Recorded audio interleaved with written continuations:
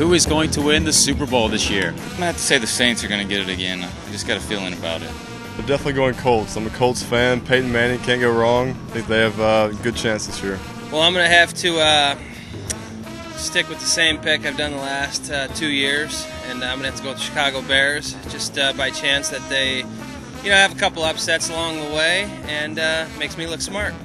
That's the 49ers, without a doubt. Arizona Cardinals. I have no idea, but uh, but my hometown team, so I got to go with them. I'd like to see the Saints repeat.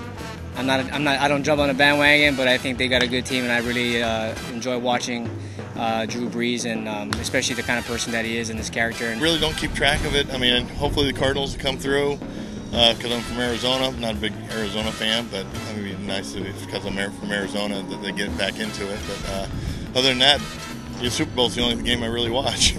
I don't know who's going to win it, but I am going to root for the Steelers. So I like I like them a lot. It's a tough scenario what old uh, Roethlisberger did, but we'll, we'll see what happens. I'm going to go with uh, the Colts.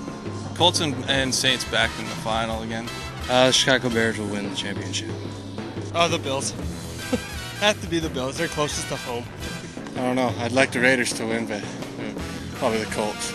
I'm going to go with the Ravens. I think we're going to have a good year. Um, not, I don't really follow any particular team. I like fantasy, but uh, I think the Ravens are going to be good this year. Uh, I got to go with the Colts.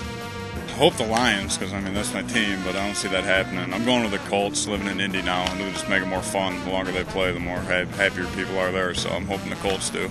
I got no idea. Okay, I'm really not a big uh, NFL guy, uh, college guy a little bit, but the NFL, of course, you know, the Bucks. You know, I'm not I'm not a big Bucks fan either, so I, I can't tell you. So uh, I know just last year, uh, you know, Green Bay got a pretty good club and the whole bit, but I have no clue. Tough to go against the Saints. I mean, they're strong, a lot of good guys coming back, but I think whoever comes out of the NFC East could also make a run. That's a tough division.